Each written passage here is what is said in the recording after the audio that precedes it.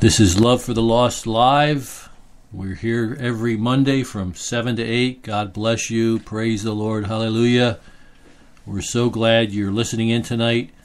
Very special guest tonight. I'm really excited about our guest tonight, and we're going to just get into his testimony and his ministry in just a few moments.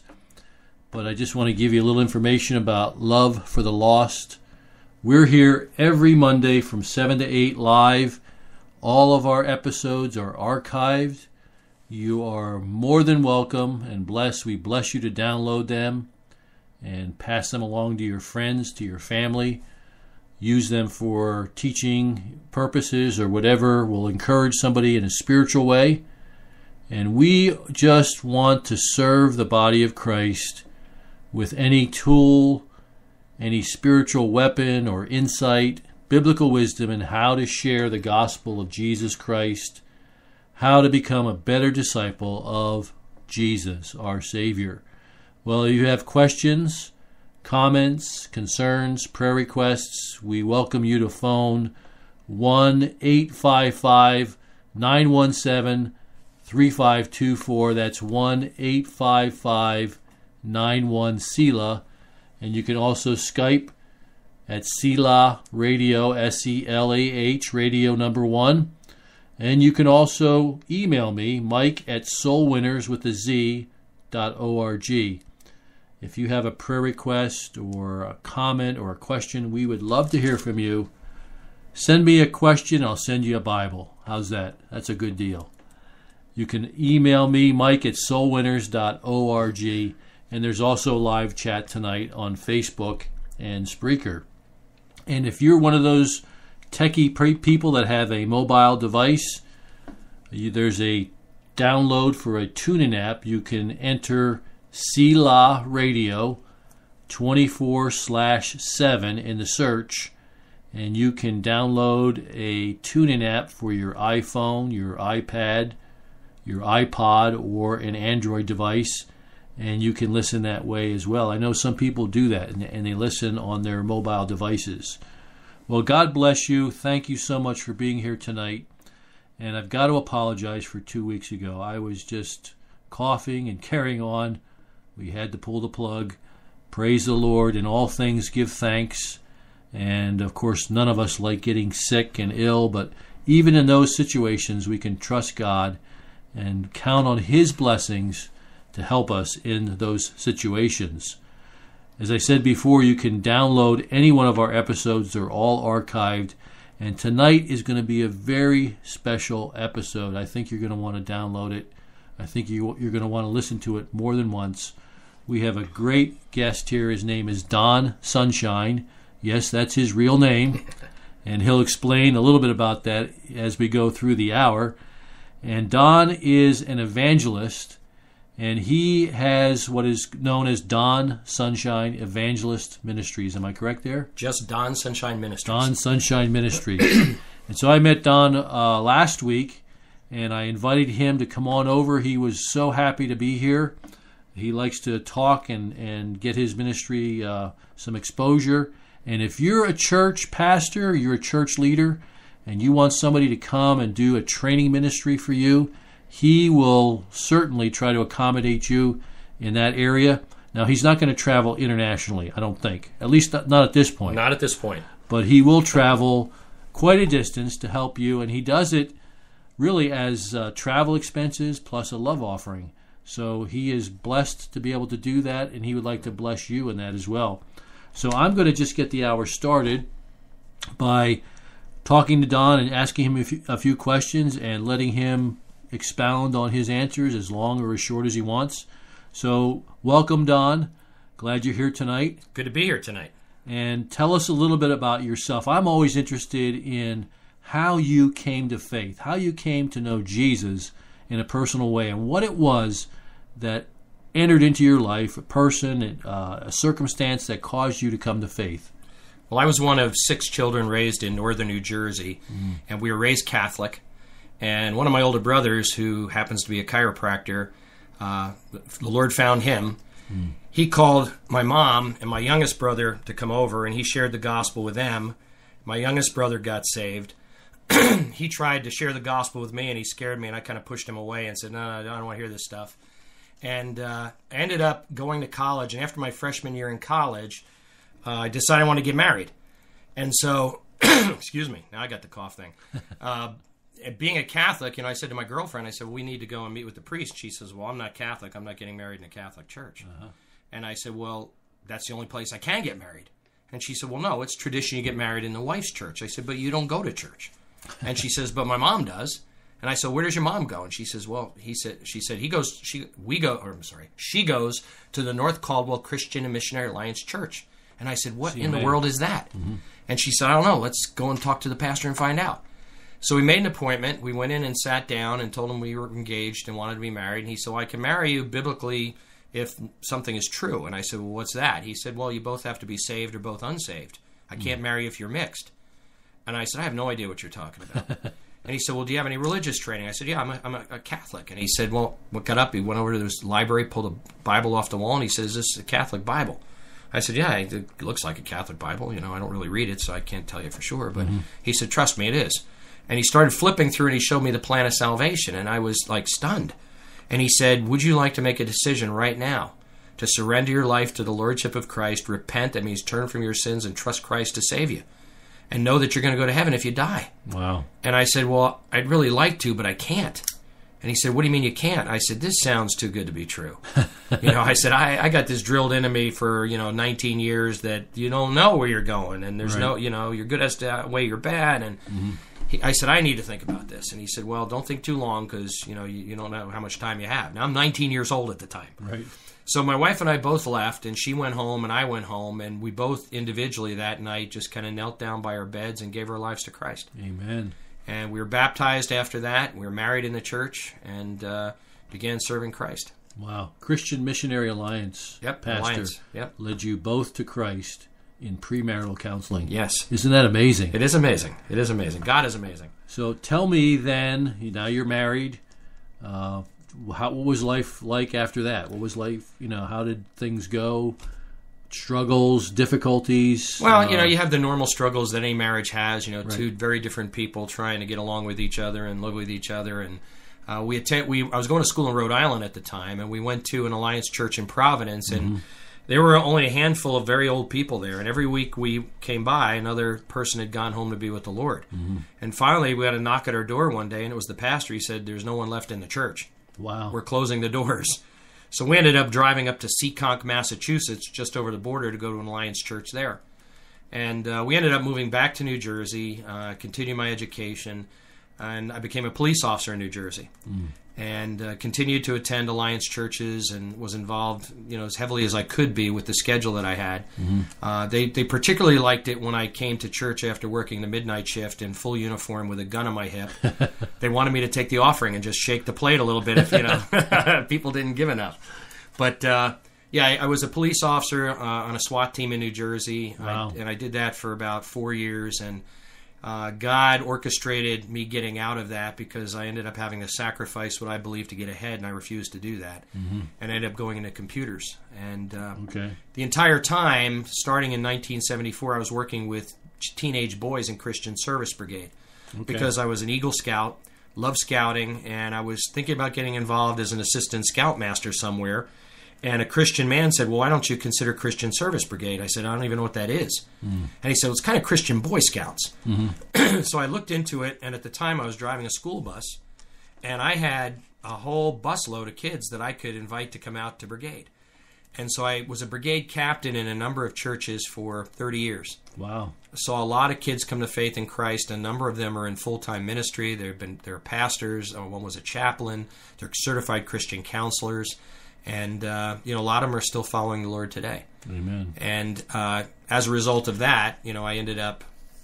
Well, I'll, I'll I'll end it there and see what your next question is. How about Well, that? my question is, after you came to faith in Christ, did you have a burden for souls? Did you have a burden for evangelism? It yeah. seems like you did from the things you're saying. I had one from day one. From Okay. the, when I realized that, and I was a pretty good kid because I, you know, I never drank, never smoked, never took drugs. I, I was a, an Eagle Scout Catholic who wanted to be a cop. How Mm-hmm. Yeah. bad of a kid do you think I was, right? so, you know, I was a pretty decent kid by the world standards. But when I got that burden lifted, that my I wasn't going to have to pay for the stupid stupid things I've done, the sinful things I've done. Amen. I was out of control. I mean, I had no tact. I was trying to drag everybody to, to go to heaven with me, sharing my faith with everybody that would listen, and they all thought I was crazy and I had lost it and um, offended a lot of people, pushed off a lot of people because I had zero tact. This is life and death. I figured, you know, I got to get him. I got to get him in the lifeboat with me. Yeah. And uh, and then I kind of retreated from that and became, you know, I was working with the kids in Christian Service Brigade, sharing the gospel with them, but I really wasn't sharing my faith with the people that God connected me with every day. Mm-hmm. I became kind of what I'll call the secret agent Christian. Mm-hmm. You know, if everything lined up and I felt the Holy Spirit's prompting and and just everything was right, I'd maybe tell them about my faith. Mm. And then at, as time went by, I had this burden for souls all the time. That's why I worked with the kids in Christian Service Brigade. I love to see kids come to faith. And it just became it was it's part of who I was. Right. And it was I think it was a gift that God gave me from day one. So, before we go any further, there might be people listening tonight who are saying, What is he talking about coming to faith and the gospel and salvation? What does all that mean Mhm. to the listener out there tonight? Well, the reality of it is, you know, all of us are are sinful. We've all done stuff to break God's laws. If we use the Ten Commandments as a standard and just say, "Hey, have you ever told a lie?" Mm-hmm. Well, everybody who's honest is going to say, "Yeah, I've lied." So, what are we called if we tell lies? We're a liar. Have we ever stolen anything? Well, everybody's probably taken something that didn't belong to them, so that makes us thieves. Uh, have we ever looked at another person to lust after them? Well, if you've had hormones running through your body, every person has done that at one time or another. So, Jesus said, if you've done that, you're an adulterer at heart. Have you ever used God's name in vain? What's called blasphemy. We've all done that too, probably. Well, that's only four of the Ten Commandments, and we're batting a thousand. If we look at the other six, we're going to be guilty of them as well. Mm-hmm. And so we've broken God's laws. We've alienated ourselves from Him for all of eternity. And there's a- an eternal punishment that's promised to those that violate God's laws. But God loved us so much that 2,000 years ago, He sent His Son Jesus Christ, a perfect sacrifice, came to earth, lived among human beings, lived a perfect sinless life, and He was the perfect sacrifice for our sins. He paid our ransom that's due. Mm-hmm. And in order to accept that gift that God has given each and every one of us, because He says it is a free gift, all we have to do is be willing to surrender our lives to the Lordship of Christ in repentance. That means we're going to turn from our sins. Mm-hmm. And we're, with every ounce of our being, it means mind, heart, life, and purpose in the original language, in, in the Greek, a word called metanoia. And we're going to trust Christ by faith to save us. Amen. And the Bible says when we do that, a supernatural thing happens. The Holy Spirit comes and indwells us. The slate is wiped clean. We are guaranteed our inheritance in heaven. And we begin a new life of following Jesus Christ. Amen. So I just thought that's important to talk about because if there's somebody listening tonight who is searching spiritually, and people are always looking for truth, Amen.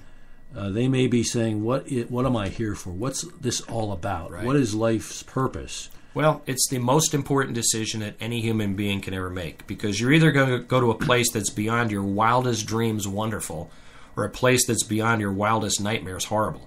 Amen. And, you know, you have a choice. God's given us a choice, and we need to make that decision. Right. You're either a follower of Jesus Christ or you're a follower of Satan. Those are the only two options. Right. And you said it sounded too easy to be true Right. when you first heard the message.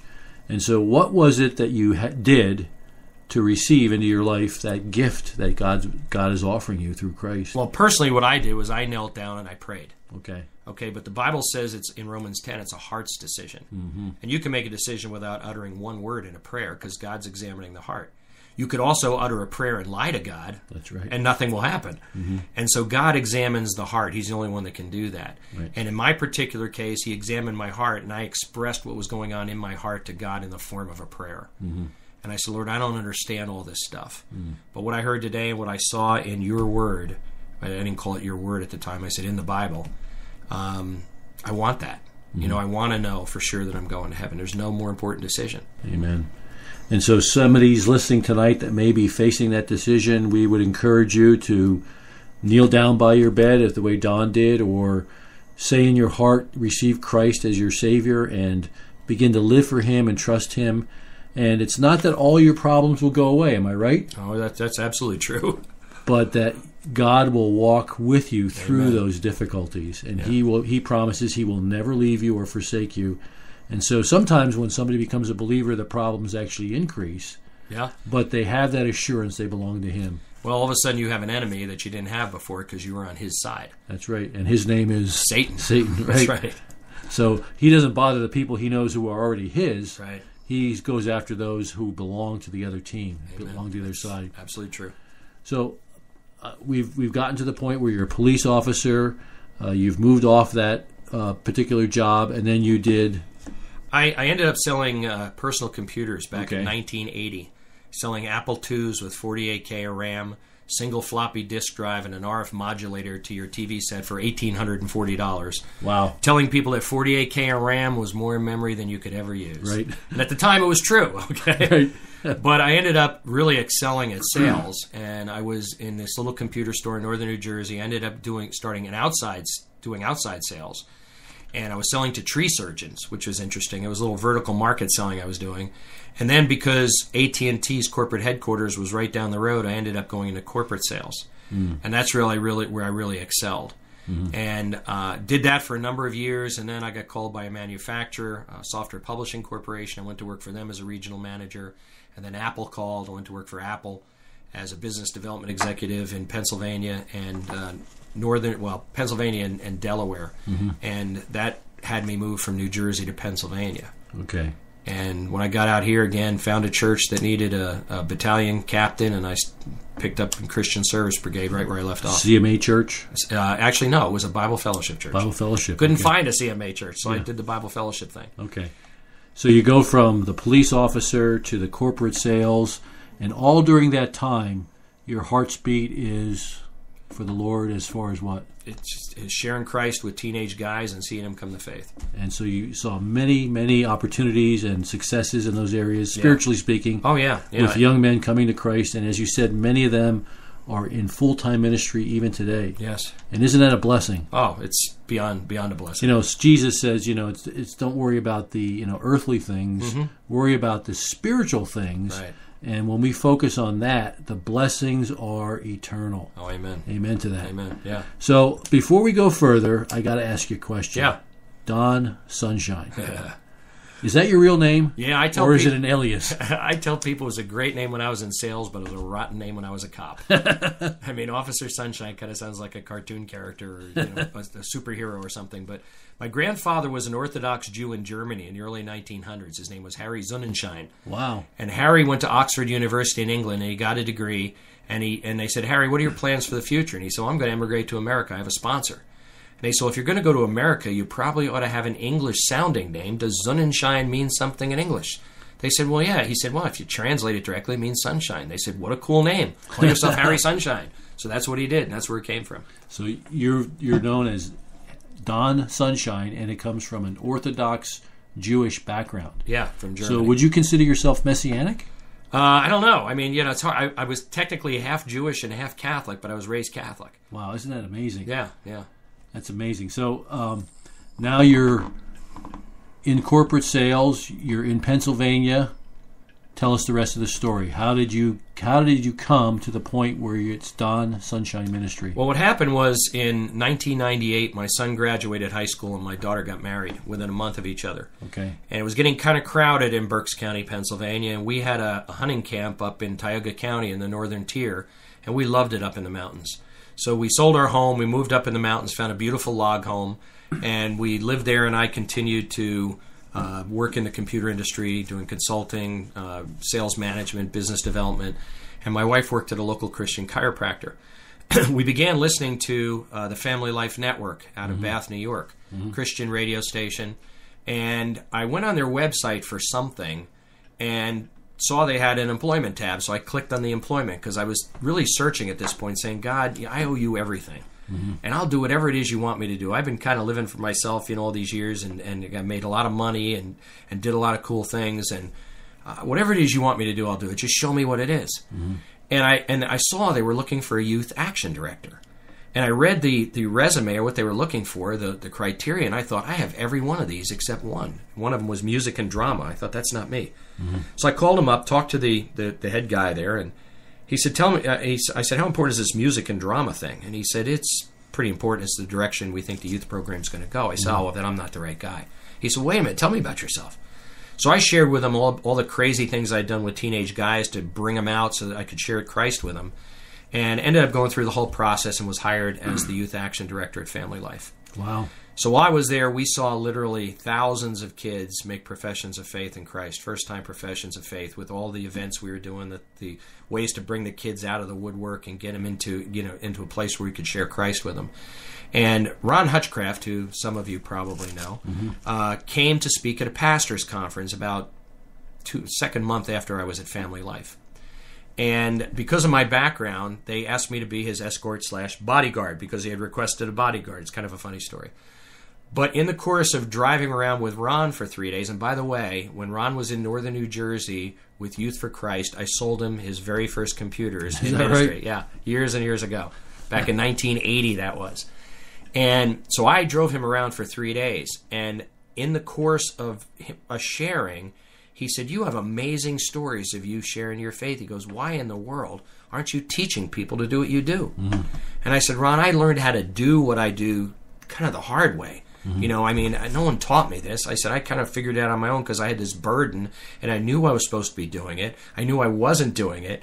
And, you know, I think the Lord convicted me that, hey, I'm supposed to be an ambassador. I'm supposed to be making disciples, and I'm not doing it other than with the teenage guys. Right. You know, how do I do this? And I kind of figured it out on my own. And I said, Ron, I know how to do what I do, but I said, I can't take a group of people and have them follow me around in my life every day to show them how I do this. He said, "Well, you've got presentation skills. You've done, you know, keynote addresses for Apple and mm-hmm. corporate board presentations." He said, "All you need is a starting point. Take my book, A Life That Matters, read that, and build a training." And he says, "Wherever it goes, it goes." So I built the training and I taught it for the very first time ten years ago this month to a youth group up on Lake Ontario. And because of the radio network, it changed so many lives up there that people were calling in. And all of a sudden, pastors were calling saying, Hey, I don't want you to just come and teach my youth how to do this. I want my whole church to learn how to do what you're doing. Come on mm-hmm. over here. So I did 117 of these trainings when I was at Family Life, and it wasn't even part of my job description. Mm-hmm. And in October of 08, my wife and I left. We started Don Sunshine Ministries, and that's what we do full time. And that was a step of faith, tremendous faith. It was a huge step of faith. I mean, we had no equipment, no salary, no medical, no nothing, a mortgage payment, a car payment, and I was scared to death. Amen. But God's blessing. God took care of us. I mean, my my I, you know, wives can can really stick the knife in you sometimes if you know what I mean. They can really, I, you know, I was I was thinking, okay, I can go back into consulting, make some big bucks doing that, and do this on the side. And in my heart, I knew that's not what God wanted me to do. Mm-hmm. He didn't want me to go out and make a ton of money and, and focus my efforts on that. He wanted me to focus my efforts on equipping the church. Amen. And so my wife said to me, I was telling her about my struggle, and she said, Do you really believe God wants you to do this? I said, Yeah. And she goes, Then why can't you just trust Him? Wow. And I was like, Oh, I hate when they do that. so I said, All right, I'm scared to death. And I knelt down. I said, God, I am scared to death. And you know my heart, Lord. I don't know how we're going to pay our bills next month. I don't. I have three trainings on the calendar for the rest of the year. You know, the love offerings are pretty small. Uh, if I took all the offerings offerings I got in the six, last six months, I don't think it would cover my mortgage. And miraculously, God has provided for us, and He's continued to do that for seven years now. Amen. Praise the Lord for that. Yeah, amen. Praise the Lord. Well, that's obviously an indication He wants you in full time ministry. Yes, yes, He's- He's, proven he's- that over and over. So you were saying, you know, some of the stories that Ron Hutchcraft said that you were sharing with Mm-hmm. him about the ways in which you would share your faith. Can does one or two of those stories stand out in your thinking more than others, and, and would you share them with us? Well, I'll give you one that didn't happen prior to Ron Hutchcraft talking to me, but it's one of my favorites. Uh, my friend Pastor Ron, he's uh, chairman of the board of my ministry, and I taught in his Christian school when I was at Family Life. And uh, he likes motorcycles the way I like motorcycles. And so he said, Don, he said, I, I've never used that God given interest in motorcycles for the kingdom. He says, if you ha are still willing to let me come with you, I'd like to go to Daytona Bike Week with you and see how you do this. And I said, yeah, come on along. So Ron has been coming with me every year since 2008. And I believe it was last year, we were down in Jupiter, Florida doing a training. And we headed north to go back to Daytona to share Christ with the bikers. And we stopped for dinner at this Cracker Barrel. And when we came out, the sun was setting. And I said, I thought, you know, it's getting kind of chilly. I said, I think I'm going to switch from my mesh jacket to my leather jacket. He said, I'll be good with what I have on. So we're driving north, and we're in the middle of nowhere. I mean, it's pitch black, it's cold, and all of a sudden he passes me. And I'm dragging a trailer with computers in it and projectors and literature, I mean, all kinds of stuff. And he's on a bike that's getting 50 miles a gallon, I'm getting 27. Mm-hmm. And I figure I've got another 35 miles before I need to gas up. So I'm thinking, okay, he just wants to lead for a little while. That's okay. Well, we come up on, to an exit, and he puts his turn signal on and goes off the exit. And I thought, what's he doing? You know, he can't need gas. Pulls into this gigantic gas station with like eight rows of pumps. It's lit up like daylight, and there's nobody there. And he pulls up to the pump and shuts his bike off. I pull up behind him and I shut my bike off and I looked at him. I said, Really? And he says, Oh, I don't need gas. He said, I'm freezing cold. I should have changed my jacket when you did. he said, But as long as we're here, might as well gas up. So we start to gas up, and a man comes walking from the side of the building. And he says, Excuse me, do you know where there's a real mechanic around here? Well, that's the connection. It's a, any simple little connection that you have with someone. They ask you a question, they make a statement to mm-hmm. you. That's an opportunity for you to share your faith with somebody. Mm-hmm. And so I said to him, No, sir, I, I really don't know. I said, I'm from Pennsylvania, he's from New York, and we're just passing through. And he said, Oh, there's something wrong with my car. And I looked over, I said, With your Mercedes Benz? and he said, Yeah. And I said, Well, what's it doing? And he told me, and I said, You know, I'm no mechanic, but I said, That sounds like a serpentine belt. And I said, If your serpentine belt is gone, you're not going anywhere tonight. Right. So he said, Do you know how to tell? And I said, Yeah, I can tell that. So I go walking over and I said, What's your name? He said, My name's Mike. And his wife was standing outside the car, and I introduced myself to her. Her name was Gina. And I said, Pop the hood, Mike. And I pulled a flashlight off my belt and I looked in the engine. I said, Yep, here's the problem. And I reached in and pulled out black spaghetti that mm. used to be a serpentine belt. and I said, Remember I mentioned the serpentine belt? This is what's left of yours. You're not going anywhere tonight. He goes, Oh, this is a mess. He goes, I have a house about 180 miles south of here. He said, I'll have to have my driver come and get me. Wow. He goes, Yeah, he says, I'll have to have the car towed. And I said, Well, listen, Mike, I said, I can't do much more for you than I've already done, but I could pray for you. Mm. And he hmm. looked at me and he goes, What? I said, I'd love to pray for you and your wife. He goes, Well, okay. so I said, Ron, come here. I said, This is Mike and Gina. He said, Hi, nice to meet you. And I said, See that on the ground? That's his serpentine belt. And he says, Oh, you're not going anywhere tonight. and Mike goes, Yeah, I heard that already. I said, I want to pray for Mike and Gina. I want you to join me. So we put our arms around these two people we just met. And I, um, I prayed something like this I said, Father, I want to thank you for leading us to this gas station tonight to meet Mike and Gina. Mm. I'm sorry that their car broke down, but I believe that you allowed this to happen because you wanted us to meet these people, because you want these two people in heaven with you when they die. Amen. I pray that they'll get their car fixed, that they'll get their ride to where they need to go, and I pray that uh, they'll take what we share with them and that you'll use that to draw them to yourself and that they will be born again and we'll see them he- in heaven someday. In Jesus' name, amen. She crosses herself and he looks at me and he goes, What kind of church do you go to? and I said, I go to a Bible believing church. He said, I'm a Catholic. I said, So was I. Let me tell you my story. Mm. And I shared how God had saved me mm-hmm. at that premarital counseling time. Gave them a Gospel of John with the plan of salvation in it to read. It's right in the front, the plan mm-hmm. of salvation. They agreed to read it. And Ron and I gave him each a hug and we walked away and we turned and looked at each other and just started laughing. And I said, Can you believe what had to happen tonight for us to meet those two people?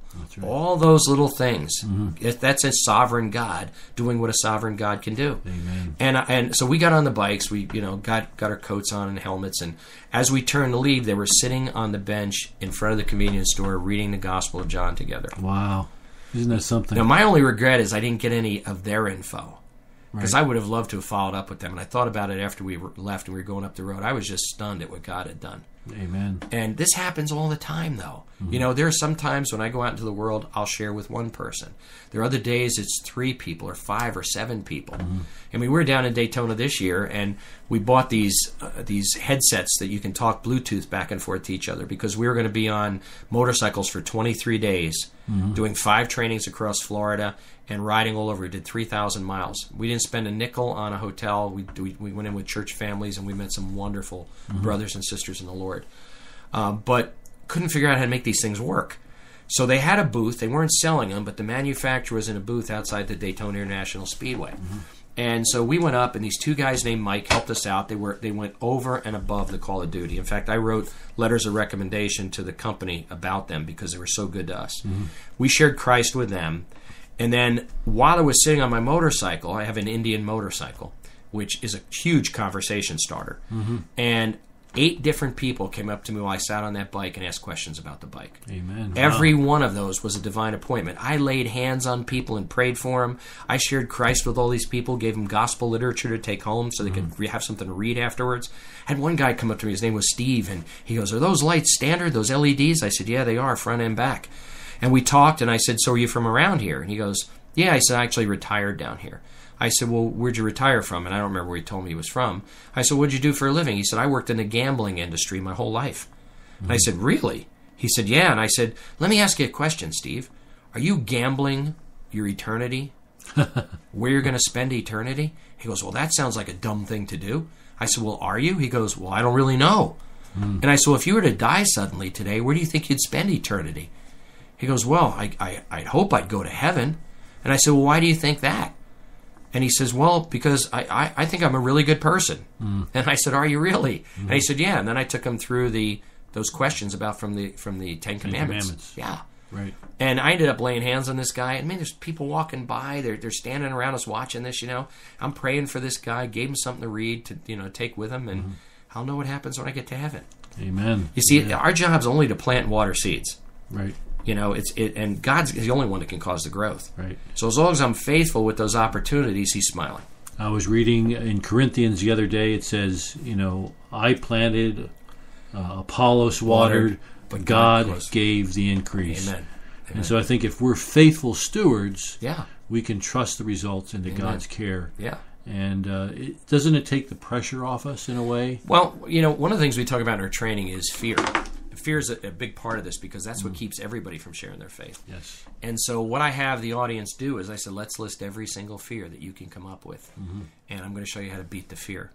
And one of the one of the, almost always the first fear that's mentioned is rejection. Mm-hmm. And when you understand that I can't cause the growth no matter what I do, mm-hmm. uh, Paul planted Apollos word, but only God can cause the growth. All God expects us to do is say, "Hey, listen, pal, you're, you're you know you're you're lost, Mm-hmm. okay? You're and you're you're going to a really bad place unless you change. Let me tell you how that can change. Right.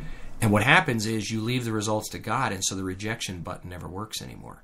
The mm-hmm. demons can push that rejection button all day long, and you're not worried about it because. And I've had people say to me, "Don, the most liberating thing I've heard that I heard you say today was it's okay if somebody says no. I haven't failed That's right. because they say no. Right. The only way you fail is if you haven't told them their condition and told them how to fix it. That's right. And that's all God expects us to do. Leave the results to Him. Well, it's uh, I'm thinking of the prophets uh, Jeremiah uh, or Ezekiel, where he says, "You're the watchman on the wall." and we're called to sound the warning. Mm-hmm. And God expects us to be faithful in that. Yeah. And if we're not, He'll hold us accountable. Yeah. in And so many ways. That's a scary thought. Right. You know, and here's here's here's something that, that increases the fear factor, is that I believe that every single person you meet has been handpicked by God, and that He What brings perspective. He brings us people every day that we connect with. Some of them mm-hmm. are neighbors, they're coworkers, they're friends, they're relatives, they're people we meet at the gas mm-hmm. station. We sit next to them on an airplane. Mm-hmm. Some people are going to be on our stretch of beach, if you will, one time. We're going to have one chance to rescue them Right. and you're never, never going to see them again until the judgment seat of Christ. And then there's others that are co- going to come and go every day. Mm-hmm. And and you know God's going to hold us accountable for each of them. That's right. And you know, sadly, nine out of ten people statistically don't share their faith with anybody, mm-hmm. and it's really not hard to do. Right. You know, I've taught this same training 451 times in 22 states and Canada. And we've equipped over 24,000 people to start doing this every day as a lifestyle. Mm-hmm. I teach the exact same training at Christian middle school retreats. And those kids put it into practice. Wow. In fact, I have the testimonies of the parents of two seven year olds who sat through this on a Sunday morning and early afternoon and went home and started sharing Christ with their adult neighbors. They were leading friends to Christ on the school bus. wow. I mean, amazing stuff. Right. You know, Because it's not hard to do. it's not hard to do. We It's think it's hard. just telling people how to be saved. Well, and the problem is that the devil has lied to all of us and told us we can't do this. Mm-hmm. He's saying you don't have you haven't you haven't memorized enough scripture yet. Mm-hmm. You're not a minister. You haven't been to Bible college. Right. What if they ask you a question you're not going to know the answer to it? Mm-hmm. What if they reject you? What if they laugh at you? What if they make fun of you? What if they won't be your friend anymore? And they they work these fear buttons all day long on us, and we just believe them that they're true. And really, they're not true. Because God has promised to give us the strength to do what He has commanded. But the strength may not be evident, however, until we step out in faith and actually begin doing the task. Right. Have you found in your experience that lots of people are really spiritually hungry? That they're searching, that they really want to know truth, and they maybe they're stiff arming God in a way, but lots of people really are searching for truth. Yeah, one of the things we've noticed, like at Bike Week, that's a pretty rough crowd down there. It can mm-hmm. be. Every year, Now, just before you go, Bike Week, Daytona Beach, Florida. Daytona Beach, Florida, in March. It's it's one week long in March, and bikers from all over the country go there. When we yeah when we first started attending, it's over uh, what it is. It's over seventy years old now. okay, But over half a million people used to converge on the Daytona area the first week of March for this bike week, and there's vendors all over, and there's all kinds of stuff going on. And so, being I have a love for riding motorcycles, God gave me that love for a reason. He wants me to use that love of, of that particular activity to further the kingdom. Amen. And if guys who ride motorcycles don't share with people who ride motorcycles, who's going to? Mm-hmm. And that's a point of connection. Because when I pull up to a gas pump and on a motorcycle and someone pulls up in a car, yes, there may not be a conversation. But if two guys pull up on motorcycles, there will be a conversation almost always. Yes. And so you use those connections to as an opportunity to share. And what we've noticed over the past several years is people are more open than ever because if they're paying attention to what's going on in the world, That's right. they're getting concerned. That's right. And we have the answers that they don't have. We have peace inside that they mm-hmm. don't have. Mm-hmm. And so we have something that is desirable. Mm-hmm. And they recognize right away there's something different about you. And I don't really know what it is, but Right. I'd like to know. So there's a real openness to the gospel. Yeah. And I've seen that too in the last couple of years, an openness to the gospel that I haven't seen in the last several years. And so tell me more about what you do with your training sessions. I know you I mentioned or I heard you mention last week uh, it's a 4-hour session, it's a 5-hour session. Yeah. Tell us a little bit more about it. We it's a four it's four hours of instruction plus Okay. breaks. So a typical Saturday would be 9 a.m. to 2:30 p.m. Okay. We take a short break at 10:30. We break again at noontime for lunch, and we finish after lunch. On a Sunday, we'll get more of the church people to attend because everyone is scared to death to do this.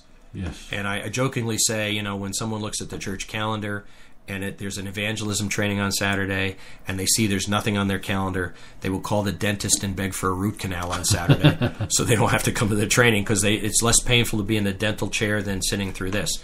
And so, on average, having done over 400 of these, 10 to 15 percent of the Sunday morning attendance will come. Hmm. That's it, hmm. and there are reasons for that. But there are exceptions too. We've had 80%, 90%. We had one that was like 99%. percent But the pastor made all of his people, it was a small church out near Pittsburgh, made all of his people sign a document saying they'd be there. and he had 26 out of 27. The one lady had her tooth pulled the day before and she wasn't feeling so well, so she come. Deliberately. Deliberately, yeah, exactly. Before she knew it was happening. But anyway, um, on Sundays, we work around the church schedule. So a typical Sunday for a church might be we'll we'll do the Sunday school hour, we'll break, they'll start the service, sing a couple of hymns or praise songs, whatever it is they do for for song worship. Mm-hmm. They'll have prayer, take their offering, give me the message time, and then we finish after lunch. Okay. And so it's four hours plus the breaks that you take. That's the key. So how would people contact you if they wanted to Well, my schedule? web my website is donsunshine.org. D O N S U N S H I N E dot org. Okay. Training is called Make a Difference. Okay.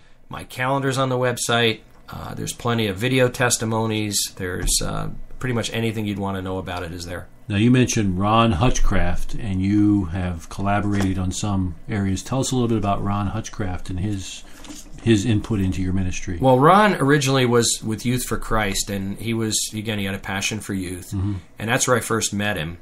Uh, he he's done work for Billy Graham. He's a I believe he's a Moody grad, and he started his own ministry out of Arkansas called, uh, at you know Ron Hutchcraft Ministries, and they really focus now on reaching Native American teens, oh, which wow. is the the largest at risk group in the country wow. huge percentage of of, of kids with you know teen suicide and drug problems and alcohol problems and violence and and that's what, what they really focus on initially uh, there was a, um, a kind of a loose relationship. They were going to feed me some leads, and if they got someone that needed training, they were going to give it to me. But it really didn't go anywhere. Mm-hmm. He was so busy with all the other things that he was doing that it didn't come up very often. I think they gave me one one lead in Canada that I went and taught, Mm-hmm. but uh, and I think it was because they didn't want to go over to Canada. It was too cold. It was in Right. the middle of winter. Right. But uh, anyway, uh, yeah. So really, we haven't done much together. Uh, he continues to do what he does, and uh, periodically, we um, some of his people are on my email list, so they get my monthly reports. So they know how God is using this, and he, I, I've heard some responses through other people that he's just thrilled. Now, I heard you say last week when I heard you talking, uh, you you mentioned this this evening about you've done the training with middle school kids and they've it's ignited their passion for evangelism, but you've also done training with seminary professors. Am I right? Yeah, I was I was invited by the, the founder and president of Crown College of the Bible in Powell, Tennessee, to come and teach the faculty and staff of the Bible College and Seminary how to do what I do. wow. and there were over 100 people in the room. They ran it from like 8 to 12 on a Friday before the semester started a year ago, August 9th. And uh, the president got up when I was done. I sat down and turned it over to him. And this is exactly what he said. I was stunned. He said, "He said, folks, he says you have just experienced the most impactful thing that's ever happened here." Wow. And I was amazing. like, I took, kind of shook my head and was like, "Really?" That's why I'm calling you Doctor. Yeah, right, right, yeah, yeah. And and then, I mean, the man who put the chronological Bible together was in the audience. These are people with doctorates in theology, and, and I'm thinking, really, I'm going to teach them something? Well, it impacted the whole the whole faculty and staff. In fact, the founder's wife came up to me afterwards, and she was sobbing, hmm. and she said, "Don, this was life changing for us." Wow. Wow. And she said, had we had this training 10 years ago, Knoxville could have been a different city today. Hmm. What is it that's different about your training versus what they were hearing? I- you know, I, I, I don't know. I'm a simple guy. I mean, I have no seminary degree, I have no Bible college degree, hmm. and I've had pastors say to me, Don, whatever you do, don't get ordained because you'll ruin a good thing. The fact that you don't have a seminary degree or Bible college degree is proof to the people you're talking to that you don't have to have that to make disciples. You know, all you have to do is recognize the opportunities and take advantage of them. Amen. And so um, it's simple, it's easy to do, and you know I've done lots of event evangelism over the years. That's what I did with the kids. You know, we created these crazy events, you know, uh, these trips and and Ironman tournaments and all kinds of things to bring guys out to share Christ with them. But this is, you know, just recognizing the simple connections you have every day, dealing with the fear, and then knowing what to do and say. Amen. And that's as simple as it gets. So, I know you're talking about Daytona Beach, Mhm. and it's kind of a planned trip. You know, Yeah. you're you're going there with the anticipation that you're going to spend X number of days Mm-hmm. really focused on ministry and sharing. How about your everyday life? You know, you're you're living at home, you're going to the store, Mm-hmm. you're going here and there. Give us some ideas of some of the connections that you can make with people, even in those areas. Well, I'll give you an example. Okay, I, we do this full time. I mean, that's that's our full time jobs. But we have uh, where I live. There's a number of school districts that are dying for school bus drivers. They they they're short drivers every single day. Everybody in management has to drive. They have mechanics driving. And I've had a bus license since before I was a policeman. And so I thought, you know, they've been, they called me up and they said, "Could you please help us?" I said, "Look, I can help you in the morning because I'll be back by nine. I can do my normal job, but I can't do the afternoon. It just it'll break up my whole day." That became a huge mission field for me Wow. because as I went in there and she'd say, you know, the, the uh, assistant transportation coordinator would say, Don, ride with this person today because you're going to have to do their route next week. So in the course of conversation, they'd say, well, are you, um, uh, you know, uh, are you going to be doing the morning and afternoon? I said, no, I'm only doing the morning. They said, oh, how come? Well, because I have a, another job. They said, what do you do? I said, I have a ministry. They said, are you a minister? No. but you have a ministry. Uh, you know, so what do you do in your ministry? I said, I teach people how to share their faith in Christ. You know, do you go to church anywhere? Yeah. You know, and and I end I've, I I I have about eleven people on my daily prayer list that I've shared Christ with, Wow. and um, I'm praying for those people every day. I gave them some gospel literature to read. I followed up with a lot of them. I've given some of them multiple things to read, And here's a heartbreaker. I had one lady, I walked into the transportation office this one morning. Heard this lady say, "The Bible's nothing but a bunch of fairy tales and it's all it's all fake and it's not real and who could in their right mind could believe that anybody could cross the Red Sea on dry ground with walls of water on the side?" And I went over and I said to her, I said, I, you know, I don't even know your name. I said, my name's Don. What's your name? And she said, my name's Jennifer. Now, there's a whole bunch of people listening to this conversation. Mm-hmm. Okay. And I said, Jennifer, let me ask you a question. What are the chances that you could walk into a library, pick out 66 different books written by 40 different authors, who most of them didn't know each other? These books were written over a period of 1,500 years Wow. on three different continents mm-hmm. in three different languages. And when you put them all together and assemble them as one book, there would be a central theme that ran through that entire book with no contradictions or, or mistakes. She said, That's impossible. I said, That's what the Bible is. It's a supernatural book, it's the Word of God. Wow. And I said, and I said, in terms of the Red Sea crossing, there's plenty of evidence. They've got chariot wheels on the bottom with axles standing up. They know exactly where What they happened. crossed. Yeah, Right. right, at Pi Hiroth. And I ended up sharing a little book by Mark Cahill called One Second After You Die. It's one of the mm-hmm. tools that I like to give out. That one in particular is really good when you encounter someone who has doubts about the Bible or has doubts about Jesus being raised from the dead or that he was the Son of God, because it does an entire apologetics presentation prior to giving an accurate gospel presentation. Mm-hmm. I gave her that book to read, and I said, I'd like you to read this and let me know what your thoughts are. Mm. This past Monday, in between runs in the morning, her husband died of a heart attack Wow. and the funeral was this past Saturday. Mm. I don't know what happened with that book. Mm-hmm. I don't know if she read it, if there was ever a decision, if she shared it with her husband, Right. but it became very real very quick. That's right. Now is the day of salvation. That's right. Today None the of us are guaranteed one That's right. more heartbeat, one more breath. Right, And when God calls us home, there's no negotiating. right. We're going. Yeah, and I could tell you because we travel on weekends and we eat out. I could do four hours of waitress stories. Amazing things happen when you pray for waitresses. Right. Um, and some of them will run off in tears. Some of them will come back with multiple requests. Some of them Yes. will grab your hand Yes. when you pray. Yes. Uh, I just we just had one the other week. My wife and I were traveling. We came back and uh, we were visiting down south. We were looking for a home, and uh, we prayed for a waitress, and she just sobbed at the table, That's right. and her heart was wide open for what we were going to share with her. That's right. It makes your day so much more interesting Oh yeah, oh yeah. because you know you're on mission. Every day is a great adventure, and that's what most most professing Christians miss. Right. It's such joy. oh, it's it's it's not a chore and it's Yeah. not a job. That's some of the things Pastor Ron said. He goes, you know, he goes, people don't understand the blessing that they're missing by by not doing this. Right.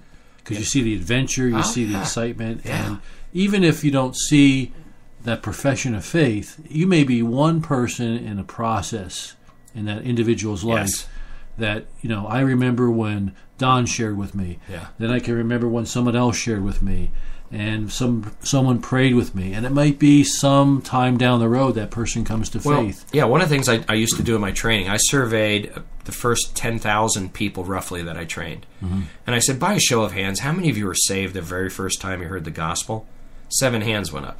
Mm. And I personally think the seven people forgot some of the little things Absolutely. that happen along the way. That's right. Okay, so it's a process. Point A is where they hear, point B is where they make a decision. There's some number of links in the chain between those two. Right.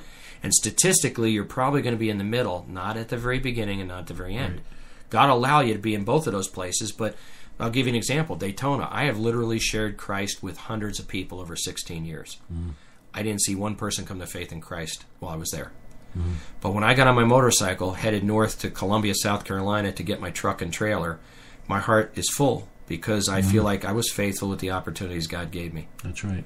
You know, And, and I've noticed, uh, just to, to, as a little bit of an aside, sometimes when you're faithful in sharing your faith, God, I think, deliberately keeps us humble because He'll bring somebody in some other way, so He gets the glory. well, yeah, And- yeah, we got to give Him the glory. I think it's just His way of saying, you know, Remember who's in charge. right? Exactly. Yeah.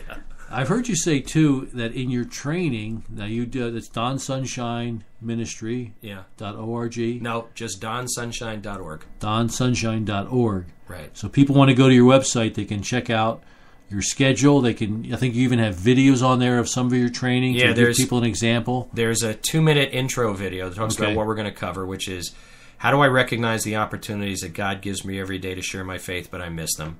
Okay. What does it really mean to be an ambassador for Christ? Then we list the fears. I show people how to beat the fears. And then what do I do and say when the door opens? The first hour of the training is on the website in video format. Okay. So people can get a feel for how I how I teach. You know, can I put sentences together? That I'm not a heretic. You know, those kinds of things. Mm-hmm. And and that's just to give people a feel for it because there's three hours they're not getting. right. And it's it's meant to be kind of a teaser so that they want more after they hear that. Right. So anybody that's listening tonight and is interested, go to the website, check it out. Sunshine.org. DonSunshine.org. Training's called Make a Difference. Make a difference training. Check it out. Contact Don. He'd be happy to come to your to your Oh, yeah. facility and do some training for you. Be blessed. Now I heard you say that in the training, some people have themselves have come to faith in Christ. That happens pretty regularly.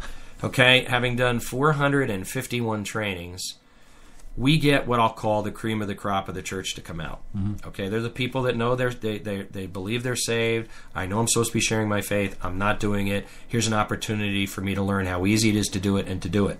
Mm-hmm. Out of that group of people that have come out for the training, according to the evaluation forms, we've seen over 1,300 people get saved at the training Wow. Just through the training. through the training. Wow. So they think they're believers. Yep. They go through the training. They discover they're not believers. Right. And they receive Christ Right. into their lives. And the reason is, I think, because we've watered down the gospel over the years. Mm-hmm. You know, it's become repeat after me, and all you got to do is say these words, and you're going to heaven. And that's nowhere in the Bible. Right. No, in, nowhere in the Bible was anyone ever saved by praying a prayer. Nowhere in the Bible was anyone did anyone ever say you need to pray a prayer. Mm-hmm. Again, God looks at the heart. Now you can express it in the form of prayer, Right. but it's a heart's decision. Mm-hmm. And so what happens is the Holy Spirit does what the Holy Spirit does. They sit through the, the last portion, which is okay, what is the gospel mm-hmm. and how do I share it? And there's conviction. And we've seen four pastors get saved. Wow. We've seen a worship leader in a big Baptist church in South Carolina get saved. Two out of three members of a leadership team at a church got saved. Wow. An English teacher at a Christian school. I mean, it never ceases to amaze me. So people really have believed a false gospel. Yeah. And, Yeah. the, and the gospel is, like you said, just say this prayer uh, and you're good. You can just have a ticket in your back pocket to heaven. Yeah, you got fire insurance for but the real gospel is, Surrender to the Lordship of Christ in repentance and faith. and it's just a, a heart decision. It's a heart's decision. It's not a religion. It's not uh, some kind of magic formula. It's that relationship that God's offering to us through Jesus Christ. Amen. That's exactly and right. it's that that heart decision and realizing i've heard somebody say that you know all inadequate doctrines of salvation are because we don't understand who god really is Mm-hmm. and we don't really understand who we really are god is a holy god who desire you know who lives in perfection and nothing unholy can come into his presence Well, it's interesting because uh, John MacArthur, his book "Hard to Believe," I quote uh, quote him in the training at one point. But in his book "Hard to Believe," he talks about how hard it is to believe that this is the way God chose to redeem mankind by sending His Son and you know being born in a, a manure-filled stable and right. you know dying on a cross and and all that and. Uh, he talks about the you know the fact that back then they they drank out of gold and silver mm-hmm. cups. And when he, when it talks about us being clay pots, those were the privy pots. Mm. And it shows the dramatic contrast that you know we are the privy pots mm-hmm. compared to a perfect and holy God. that's right You that's know, right and and that's kind of amazing when you think about it. That's right. We have a few moments left, and I'd like to ask you what are some of your favorite scriptures? And maybe some of the scriptures you would use when you would share with someone, even about salvation. Well, obviously John three, John three sixteen is one. Right. And you know, the word repent is another good one. I mean, the scripture says all must repent. Mm-hmm. Well, Jesus himself said in Luke 13:3 and Luke 13:5, unless you repent, you too will all perish. Right. So why is it that that's left out of most gospel tracts and out of most gospel presentations? Mm-hmm. And so I thought about it. and I said, okay, salvation hinges on a repentant heart because Jesus made it mandatory. Mm-hmm. So what does that really mean? Well, the word in the Greek is metanoia, which mm-hmm. means a change of mind, heart, life, and purpose. So there's a head a decision you make in your head. I'm not going to sin anymore. I'm going to be obedient to Christ. It needs to drop 14 inches into your heart, where it says in Romans 10, 9 and 10, that's where conversion takes place. Right. It's got to have a proper heart. Your life will change. You're not going to live like the world anymore. You're going to mm-hmm. live as a follower of Jesus Christ. Mm-hmm. And number four, your purpose for being here will change. Well, that mm-hmm. one concerned me a little bit. Okay, what does that mean? My purpose is going to change. I think sometimes what we forget because we live in the time period we live in, we're very far removed from the master slave relationship. Mm-hmm. But the Bible says we were slaves to sin. That's right. We were purchased with the precious blood of Jesus Christ, and now we are slaves to Christ. He owns us. Well, if you're a slave and you have a master, and your master tells you to do something, you better be obedient and do it. That's right. And and we need to do that wholeheartedly. Our purpose for being here is to follow Jesus Christ and to make disciples. Amen. He commanded us in Matthew 28 to go and make disciples of all nations, baptizing them in the name of the Father, and Son, and the Holy Spirit. And he promised to be with us when we do that Amen. and those are great promises. Also, um, the the part of the one from uh, oh, let me think. Now I just lost. it. I had one of those brain moments um, where he talks about the Holy Spirit living in you. That he's Okay. he's um, he will he will give you the power to do what pleases him, the desire and the power to do what pleases him. Right. For God has not given us a spirit of fear and timidity, but a power, love, and self discipline. So never be ashamed to tell others about the Lord. That's right. And we forget sometimes that that Holy Spirit lives inside of us, tremendous power. It is tremendous. But He won't force Himself on us. If mm-hmm. we surrender to Him, we're sensitive to His leading, and we're obedient, He'll give us what we need to do to be able to do it. And I've got some amazing stories about that that I usually share at the training, but we don't have the time right now. yeah. You know, We have a few minutes left. Um, you had mentioned about repentance. Mm-hmm. And repentance is that change of heart, mind, life and purpose. life, and purpose. And that is so often missing in the gospel today. oh, so yeah. where we talk about sin and people just maybe, like you said, say the prayer and they forget about repentance. That we need to turn away from those things that displease God and turn towards God Right. with the things that please Him. It's a change in direction. Right. And it's an about face if you're a military person. yeah. And and the problem is it's not even mentioned in most gospel presentations. Mm-hmm. And I have a video that illustrates that perfectly. It's the way the master team interviewing a pastor's daughter and her two girlfriends who are going out to get drunk. Hmm. And they question her and and her answer, how she responds to the question, just it, people are. I've had so many people come to me and say, "That's my story." Mm-hmm. And she says, you know, wait a minute, wait a minute. She goes, my dad is a preacher. I was raised in a Christian home. I know God. I have a relationship with God. I mean, everybody sins. I don't think that going out and drinking every once in a while is a sin. He said, well, you said getting drunk was a sin, and the three of you are going out to get to go get drunk. And she laughs and she goes, yeah, I think you're right. And then she says, this, this is exactly what she said. She said, for some reason, I'm just so caught up in the world. Hmm. I, it, I, it's like when I turn to God, but when everyone else is not around, meaning the true believers, I let other things get back in, and I've done that my entire life. My hmm. entire life, I've always done that. Hmm. You know, I believe there's three kinds of believers. Mm-hmm. True believers surrender their lives to the lordship of Christ, repentance and faith. They're born again. They live for Jesus when no one's looking. Mm-hmm. Unbelievers, we don't want to believe in God. Right. The third group is the group that fills churches in America. Hmm. And they're going to hear the seven scariest words in all the Bible from Matthew chapter 7. Say, Lord, I cast out demons in your name. I perform miraculous signs in your name. He's going to say, Depart from me, I never knew you. Wow. That group I call the make believers. Yes. And our churches in America are full of make believers. Right. They go through the motions, they show up in church, they, they'll volunteer for some jobs, they'll throw some money in the plate. But when Jesus said, Many will come to me on that day, he's talking, it, it's, the world isn't doing those things. Mm-hmm. It's church people that are doing those things. That's right. And he said, Many will come to me on that day, and I'll say, Depart from me, I never knew you. Wow. So if you are listening tonight and you're a make believer, it's time to make that transition from make believer to true believer. Amen. And you do that by repentance, trusting in what Jesus did for you, and invite donsunshine.org. Right. Check him out. Check out his ministry. And if you're a pastor, you're a church leader, you're a member of a church, or you're just somebody that's listening tonight, you would really benefit from this training. I think it would be. Uh, I'm going to bring you over to our church and have you do a training at our church some, Awesome. sometime. I know you're in a little bit of a transition period uh, with moving and stuff, but I just am impressed with you, Don. I think um, what I see in you is a real joy. You've never let the gospel grows stale in your life. You've never gone far from the cross. You've realized what Jesus has done for you, and you're living just a life of joy and gratitude. Amen. And it is a blessing to be able to have you here tonight Thank you. and to hear a little bit about your ministry. And may the Lord bless you in your future endeavors. And hopefully, sometime we'll be able to have you come back and share some more with us.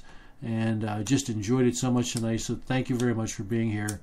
Uh, well, closing word Thank you and Merry Christmas. Merry Christmas to all of you. And good night, and we'll see you soon.